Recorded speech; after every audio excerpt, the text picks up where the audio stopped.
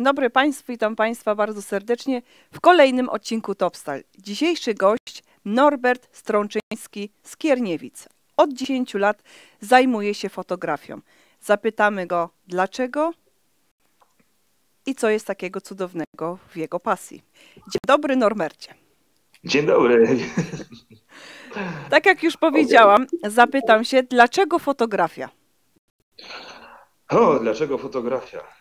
No, to się zaczęło jeszcze, kiedy pracowałem w korporacji i tam znajomy kolega z pracy zajmował, zajmował i zajmuje się nadal fotografią, e, taką bardziej reportażową. I, no jego zdjęcia są i były olśniewające, czy po prostu stwierdziłem, że Jezus Maria, można trochę inaczej. I, i tym tak naprawdę zainteresowałem wtedy. Mhm. No, i, I tak poszło dalej. Gdzieś tam szukają własnego miejsca w tej fotografii. Ta fotografia była pierw e, tak po omacku szukana. Szukałem gdzieś tam co mogę, łapałem się wszystkiego tak naprawdę. I czy to był jakiś mały aparat, czy duży aparat, szukając kolorów, szukając tematów. E, na początku nieudolnie, nieciekawie, z czasem gdzieś tam się przeradzało to szukanie jakiejś fotografii reportażowej, mhm. a później fotografia gdzieś tam ślubna się przewinęła, także fotografia produktowa, reklamowa, różne typy, lepiej, gorzej, ciężej, łatwiej. Ponieważ, no e, tak, tak jak już e, wie, ja wiem, e, nie jesteś, nie, nie uczyłeś się tego zawodu fotografii, jesteś samoukiem, możemy tak powiedzieć. Tak, tak, zdecydowanie możemy tak powiedzieć. Uczyłem głównie grafiki, mhm. a fotografia wynikła tylko chyba dlatego, że jest dużo prostszym medium, gdzie, znaczy prostszym no w sensie takim, że nie trzeba na tym aż tak długo siedzieć, żeby dłubać mhm. w, i wymyślać różne rzeczy. To znaczy, mhm. też nie jest tak prosta, też nie jest tak e, nieskomplikowana jak grafika, ale jednak łatwiej coś uchwycić mhm. tak tu i teraz tak. i później nad tym pracować niż tak od samego konceptu, gdzie ma się cokolwiek pojawić i dopiero wtedy mozolnie gdzieś mhm. iść dalej. Zwłaszcza jeżeli to robimy tylko i wyłącznie wtedy, kiedy sami coś mamy wymyślić. No bo wiadomo, że jeżeli ktoś nam coś narzuci albo e, podrzuci, no jest to wtedy dużo przyjemniejsze i dużo łatwiejsze. Mhm. tak samemu zawsze to są trudne i no, ciężkie rozprawy samemu ze sobą. Tak, tak. Dlatego tutaj fotografia jest dosyć e, no, łatwiejsza. Hmm. Znam Twoje zdjęcia z e, Instagrama, tak się poznaliśmy. E, tak. Dla mnie są przepiękne, mm, ale może Ty powiedz mi, co jest takiego wyjątkowego w Twoich zdjęciach? Z, co jest wyjątkowego? To jest dla mnie zawsze trudne, bo nigdy nie uważam, że one są wyjątkowe. Jest jeszcze tam bardzo dużo rzeczy do poprawy, bardzo dużo rzeczy do znalezienia i, i, i wydobycia z nich. E, wiem jedno, że staram się szukać kolorów, łączenia tych kolorów, bardziej uwypuklać i żeby nie były takie standardowe, jakie nas otaczają. Tak? Żeby, żeby to nie były typowe kolory. Mm, prosto z, nazwijmy to z Ikei, mhm. gdzie one są odpowiednio z, skorelowane jedne z, drugą, z drugimi i tak łatwo ze sobą fajnie współgrają, tylko szukają, szukam czegoś takiego bardziej nieuchwytnego, nieoczywistego mhm. i gdzieś te kolory, no mam nadzieję, że znajduję, też siedzę nad nimi i, i myślę, które połączenia danych kolorów mogą być akurat bardzo fajne. Mhm. No i mam nadzieję, że są. E, ja potwierdzam, że są, ponieważ e, właśnie Twoje e, zdjęcia mnie urzekły. Są przepiękne. Oczywiście nasi widzowie za chwilę powiemy, gdzie mogą znaleźć Twoje strony i Twoje piękne zdjęcia. Zapytam Ciebie, mm, jak Twoim zdaniem trzeba mieć ten talent, to coś i czuć, czy każdy może być fotografem? Eee, jejku, myślę, że każdy może być. Oczywiście, okej, okay, talent. Talent to raczej jest do postrzegania różnych rzeczy. może, ale to jest jakiś tam niewielki procent, powiedzmy 5%, mhm. może jeżeli w ogóle na procentach możemy tutaj operować, kiedy się emocjonalnie podchodzi do pewnych spraw. Cała reszta no jest to kwestia nauki, szukania siebie, odkrywania, odkrywania świata dookoła. I to może być każdy, jeżeli tylko zapragnie i, i będzie szukał wokół siebie rzeczy, które no, chcę poznać bardziej świat. To może, może wtedy każdy to może odkryć, jak najbardziej. Mhm. Czy posiadasz swoje studio fotograficzne? Nie, nie, nie, nie, nie. E, posiadałem swoje studio fotograficzne, jednak to, to były zupełnie inne czasy i to nie miało zupełnie żadnego sensu, ale jest bardzo wiele studiów, które można wynajmować i można z nich korzystać. One są już przygotowane odpowiednio do, do wynajmu i mhm do sesji i do przemyślenia sytuacji i koncepcji, jaką się już ma w głowie wcześniej, niż y, co chwilę modelować, przebudowywać i mhm. kombinować, co z tym można dalej mhm. zrobić. Mm. Powiedzmy, przychodzi do ciebie dana osoba y, i chciałaby mieć u ciebie sesję zdjęciową. Jak to wygląda? Jak powinna się przygotować wstępnie? Jak ta rozmowa rozma- wygląda? Wstępnie. Wstępnie na początku, kiedy rozmawiamy, zazwyczaj jest to takie wypytywanie się mnie. E, znaczy nie mnie, tylko ja wypytuję daną osobę jak ona siebie widzi, jak ona by chciała siebie widzieć. E, I później gdzieś szukamy tego rozwiązania wspólnego, jak te kolory, jak to wszystko ma współgrać ze sobą, żeby to współgrało tak raz z, z moim stylem, a, mhm. a, dwa też z oczekiwaniami tej osoby. I mhm. wtedy e, czasami lądujemy w pewne fajne rejony umysłowe, gdzie te mhm. kolory nagle wydobywają się jeszcze bardziej, gdzie ta grafika na przykład wchodzi i, i dodajemy różne rzeczy i już wtedy nie jesteśmy tacy codzienni, tacy mhm. naturalni, tylko to bardziej przedstawia nas samych tam mhm. wewnętrznie, tak jak chcemy siebie widzieć i tak jak siebie widzimy gdzieś tam w danym okresie czas, czasu, ale w danym okresie chyba te, dobra, nieważne. Tak, tak, tak, dobrze to ująłeś, to tak, jest... tak. W danym momencie, tak jak się czujemy, na przykład pani będzie chciała być, powiedzmy... Tak, to jest taka podróż, podróż przez nas samych tak, wtedy. Tak, tak. I, mhm. I wtedy znajdujemy tą całą sesję, to co, to, co, to, co w nas siedzi. Mhm. Jakie masz sukcesy na swoim y, koncie? I skąd bierzesz te modelki wspaniałe? E, nie wiem, jakie sukcesy. Nigdy nie, nie postrzegam tego pod kątem sukcesów. Skąd modelki? E, różnie, różnie, głównie z internetu. Zazwyczaj, e, kiedy widzę coś w osobie, to, to pytam się, czy, czy ma ochotę na, na, na sesję.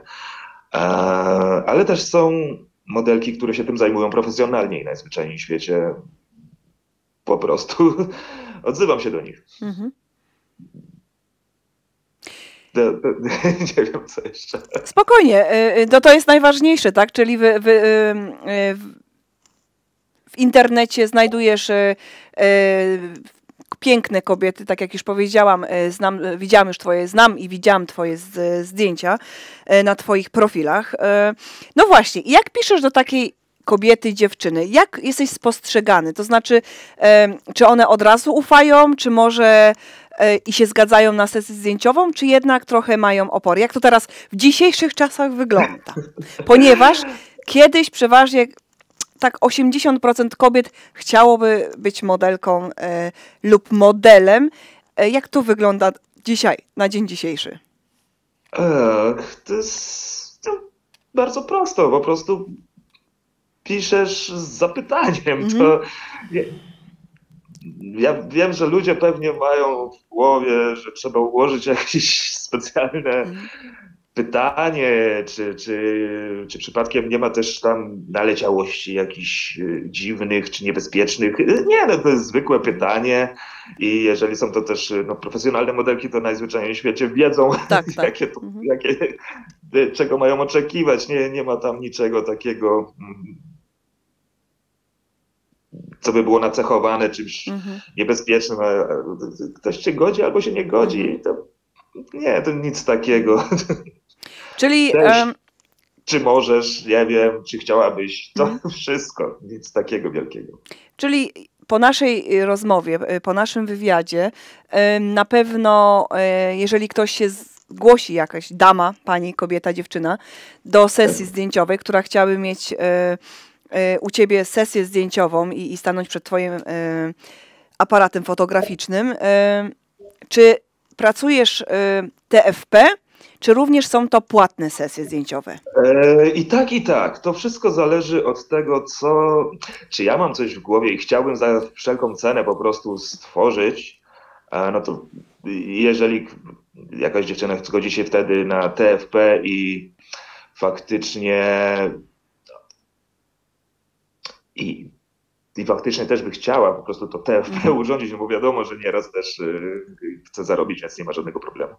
E, e, to wtedy jasne, ale mhm. jeżeli to jest gdzieś przemyślane, żeby to było bardziej komercyjne, no to wtedy już tutaj trzeba to wszystko połączyć i te wszystkie niuanse trzeba tam skleić. No to, to jest strasznie nudne, nieciekawe, ale no, no niestety tak to wygląda. Użyję słowa e, zawód, ponieważ okay. jest to również twój zawód.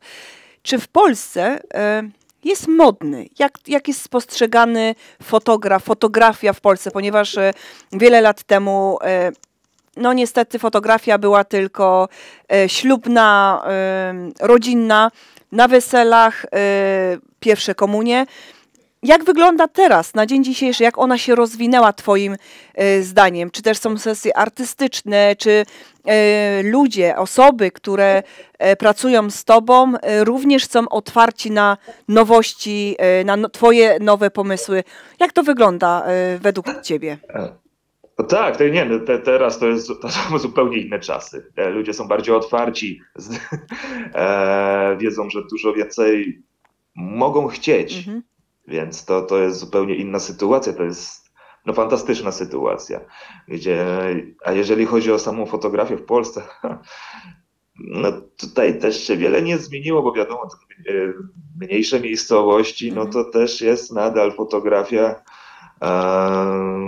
no głównie taka, jaka była. Mhm. Oczywiście już jest zupełnie innej jakości, dużo lepszej jakości tak. niż, niż tam te, te mhm. kilkadziesiąt czy tam kilkadziesiąt, kilkanaście raczej e, lat temu. Natomiast też coraz bardziej wychodzi w te takie rejony, które no, ludzie mają dostęp do internetu, widzą mhm. co można, widzą e, jak to wszystko się odbywa, ten świat jest dużo mniejszy i też oczekują nieraz e, no, czegoś podobnego. No i tutaj to jest właśnie to szukanie. Mhm. To jest to szukanie, co mi pasuje, czy co mi nie pasuje. To jest mhm. takie no, piękna sprawa. Czyli e, Polacy również w Polsce są otwarci na nowe pomysły, e, na, now, na nowych fotografów, którzy mają coś bardzo ciekawego do pokazania, do powiedzenia. Następne pytanie. Mm, fotografujesz, ale jak to wygląda, ponieważ nas wiele osób ogląda z różnych branży? Jak to wygląda w, ze współpracą na przykład y, z różnymi projekt, e, projektantami mody lub osobami, które tworzą, szyją? Y, czy jest również taka możliwość współpracy z Tobą? Jasne, jak najbardziej. Ja, ja, ja się do tego. Y, Jezu, jak, zdecydowanie tak. Natomiast zupełnie nie wchodzę w te rejony, bo, bo ja kompletnie się nie znam na E, projektowaniu, jak to ma wszystko wyglądać, to co potrzeba, żeby było uwidocznione, więc każda wskazówka od takiej osoby jest dla mnie na wagę złota. Mhm. Czyli wiesz, e, po prostu pisze pani X do ciebie, e, podobają jej się twoje zdjęcia i na przykład ma sukienkę i chciałaby, abyś sfotografował, zrobił sesję zdjęciową, jakieś pani, modelki i po prostu ona wysyła do ciebie kreację, stylizację i ty robisz zdjęcia swoim e, Tak, tak. Omawiamy, omawiamy jak, e, jak najlepiej będzie wyglądała po prostu ta kreacja. Mhm. I wtedy no dopasujemy całą resztę. Mm -hmm. tak? To, to, też zależy od koloru i, i, kształtu tej kreacji, powiedzmy, jaką modelkę dobrać, tak? Bo wiadomo, że y, do niektórych kolorów blondynka, czy ruda, czy, czy mm -hmm. brunetka i tak dalej, i tak dalej, będzie zupełnie inaczej pasować niż, y, niż inne, tak? To, mhm. to wiadomo, że tutaj fajnie by było to dobrać, e, ale to jak najbardziej tu trzeba siedzieć, rozmawiać i mhm. jakoś to wszystko tak dopasować, żeby to było takie dobrze uszyte. Świetnie. E, jakie masz plany na przyszłość, na nowy rok? Nie wiem, chyba nie mam planów. Niech leci dalej. Nie, nie, nie. Jakoś specjalnie nie, nie planuję niczego. Mhm. Te, wszystko się zmienia i to jest piękne i, i, i bardzo fajnie tak biegać za tym. Mhm. Norbercie, tak przepraszam, proszę. Nie, nie, nie, już, już. Taki sport, okay. E, Norbercie, powiedz nam, e, na jakich stronach można Ciebie e, znaleźć, nasi widzowie? Znaczy jest to Instagram głównie i właściwie tylko tam siedzę. Jest to Stronczo, bardzo łatwo y, zapamiętać, chyba krótkie i dosyć, no, dosyć takie łatwe do wymowy i w pisaniu. I to wszystko. Instagram, no, nie aktualizuję go często, mam nadzieję, że to zmienię i, i za każdym razem się to gdzieś tam wyklaruje, ale te algorytmy po prostu za każdym razem, kiedy, kiedy cokolwiek Instagram zmienia, to ja już jestem załamany, więc już nie wiem, co mam z tym robić. To się nie masz, jesteś nie jedyny, ja też nigdy nie wiem i, i wolałabym, żeby to ktoś za mnie zrobił, ale niestety trzeba samemu. Tak, to, to, to, no niestety trzeba biegać i, i, ciągle czytać, co tu się zmieniło, co z tym zrobić. Ojej, to, to Instagram. Hmm. Ale jest Facebook, jeszcze jest Facebook. Ojej, tak, tak, z czego ja na Facebooku praktycznie y, nie siedzę, nie korzystam z Facebooka. E, tam się nigdy nic nie dzieje i większość młodych osób odeszła z Facebooka już dawno temu, więc nie za bardzo mam tam nie, nie, nie czuję tam miejsca dla siebie okay. zupełnie. A TikTok? Bo teraz jest modny TikTok. Jak to jest tam u Ciebie? Nie wiem, jak go ugryźć. Nie wiem, jak go ugryźć. Za każdym razem siadam do TikToka, próbuję go przeglądać i nie mam tak. pojęcia, co z nim zrobić. Czuję się taki bezsilny troszeczkę w tym TikToku, bo no, to, co mi wyświetla ten algorytm TikToka, to jest zazwyczaj tylko i wyłącznie y, ludzie, którzy tańczą, ludzie, którzy podkładają e, lip sync do E, do jakichś tam kabaretów bądź piosenek. Ja tak to oglądam i tak te, mam zrobić to samo, tylko po co i do czego to służy? To wiesz co, to zrobimy taki mały apel do osób, które się znają na TikToku, mądrym TikToku. E, także jeżeli ktoś by chciał z Państwa pomóc Roberto, y, Norbertowi, przepraszam, Norbertowi. Nam wszystkim, którzy się nie znają na tym TikToku. Tak, na, dokładnie, na TikToku.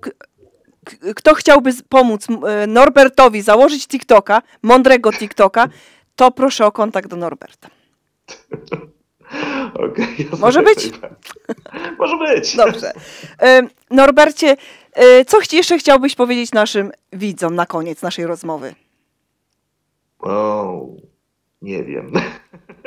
nie wiem, czuję się onieśmielony, czuję, że ja nigdy nie mam nic ciekawego do powiedzenia, więc e, e, ty, Jezu, nawet nie wiem, jak to spuentować. Nie Szukajcie siebie. Dobrze, to ja, to, to ja na koniec e, powiem. proszę Państwa, tak jak słyszeliście, onieśmielony Norbert, ponieważ dzisiaj była jego pierwsza rozmowa, jego pierwszy wywiad ale rzeczywiście Norbert e, jest bardzo utalentowanym fotografem. E, możecie zobaczyć na Instagramie jego zdjęcia, jego pracę. Także ja osobiście naprawdę polecam. E, jest fotografem hobbystycznym. Hobby, jest to jego hobby. Nigdy się tego nie uczył. Ale tak jak ja osobiście powiem, ma chłopak talent, więc mieszka Mieszka w Skierniewicach, więc jeżeli Państwo chcielibyście się skontaktować z Norbertem, zrobić u niego sesję zdjęciową, każdy, każdy temat jest e, do zrobienia, do zrealizowania, ponieważ Norbert e, sam e, wymyśla plener i, i różne e, pomysły do, danego, e, do danej stylizacji, do osób, które chciałyby mieć sesję wyjątkową i naprawdę piękną. Tak jak już słyszeliście, również Norbert szuka kogoś do TikToka, kto, kto ogarnie ten temat, nie tańcząc, nie tańcząc, tylko pokazując jego pracę. Także też chętnie się z kimś skontaktuje. E, tak jak również Państwo słyszeliście, moje e, drogie panie, również e, Norbert szuka modelek w każdym wieku. Proszę się zgłaszać do, do niego na Instagramie. Jeszcze raz proszę powiedz, pod jaką naz nazwą jesteś na Instagramie? Stronczo. Stronczo. Stronczo. Tak. Sytyry o, czy NO? Także jak Państwo. Jak państwo... Nie, bo to wyszło od nazwiska, żeby to uprościć, gdzie tak. tam jest ON, to zamieniłem tak. na ON. Ej, tak. E, wyszło. Świetnie. No i bardzo dobrze, ponieważ e, Strączyński e, nazwisko jest no niełatwe, więc... O, tak, tak. Tak, warto było skrócić. Zawsze dostawałem maila od, od ludzi, a, a że mój mm, taki główny dyrektor miał Straczyński, więc... A. Tak, za, za, zazwyczaj te maile dochodziły do mnie, no bo wiadomo, nie? Tutaj jakieś o, a, to by to To na to zwraca uwagę, tak, tak. Także Norbercie, dziękuję Tobie za naszą rozmowę, za nasz pierwszy wywiad, Twój pierwszy wywiad. Dziękuję bardzo. Także e, pierwsze koty za płoty. Spisałeś się rewelacyjnie, także e, myślę, że, znaczy jestem pewna, że, że na pewno e, w przyszłym roku odniesiesz nie jeden sukces, e, zrobisz nie jedną sesję e, zdjęciową, e, czego Tobie życzymy. Także spełnienia marzeń i wielu nowych projektów. Dziękuję bardzo, jestem no, wręcz zaszczycony, że w ogóle mogłem udzielić jakiegokolwiek wywiadu, to jest aż, aż dziwne dla mnie. No i też wszystkiego dobrego w nowym roku, mam nadzieję, że e, może i nam się uda kiedyś współpracować i też będzie bardzo fajnie, bo te twoje kreacje są e, no, e, z braku lepszych słów po prostu są fantastyczne. Dziękuję. Obserwuję cały czas. Proszę Państwa, tak jak Państwo słyszeliście, e, naszą rozmowę z Norbertem Strączyńskim, ze Skierniewic, fotografem, który od 10 lat robi piękne fotografie jako jego pasja, hobby. Zapraszam do kontaktu z Norbertem. Życzę Państwu wielu pozytywnej energii i wielu nowych projektów właśnie z Norbertem. Dziękuję bardzo, Katrin Belen. Drodzy widzowie, jeżeli doceniacie naszą pracę, cenicie wartościowe treści i chcecie być na bieżąco z najnowszymi wydarzeniami, zapraszamy do subskrypcji naszego kanału na YouTube. W ten sposób zawsze będziecie na czas informowani o naszych nowych publikacjach i nie przegapicie żadnej ważnej relacji. Jeśli podobał Wam się dzisiejszy program, pokażcie to, klikając łapkę w górę pod tym filmem. Wasze wsparcie motywuje nas do dalszej pracy i pozwala nam docierać do coraz szerszego grona odbiorców. Dziękujemy Wam za każdą subskrypcję, każdy like i udostępnienie. Do zobaczenia w kolejnych filmach.